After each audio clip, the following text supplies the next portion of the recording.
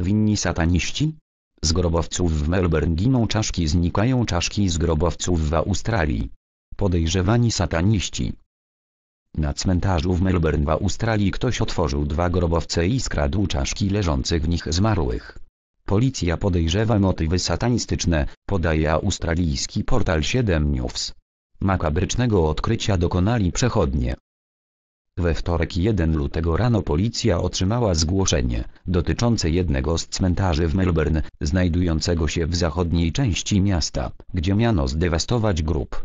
Było to drugie w ciągu kilku minionych dni powiadomienie o kradzieży czaszki z tego cmentarza.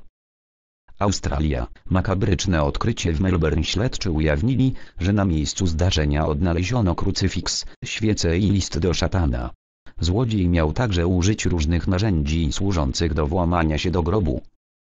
Ludzkie szczątki były głównym celem sprawcy i dlatego to na tym motywie się koncentrujemy, przekazał inspektor Ben Jarman.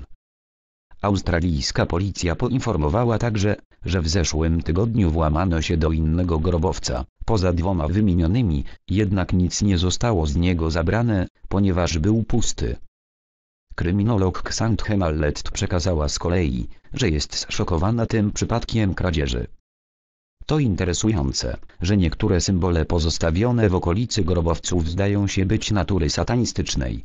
Widziałam coś takiego w Wielkiej Brytanii, ale nigdy nie spotkałam się z jakąkolwiek działalnością kultu satanistycznego w Australii, skomentowała Mallet. Makabryczne odkrycie przechodniów.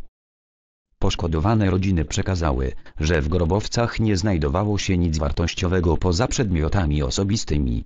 Osoby pochowane w okradzionych grobowcach nie znały się, nie są też ze sobą spokrewnione. Makabrycznego odkrycia dokonali przechodnie. Do pierwszego incydentu doszło 27 stycznia między 19.30 a 6 rano następnego dnia. Drugi miał miejsce między godziną 18 w poniedziałek a 10 we wtorek. Policja i ochrona cmentarza ściśle współpracują. Obecność ochrony na miejscu została zwiększona w związku z wydarzeniami.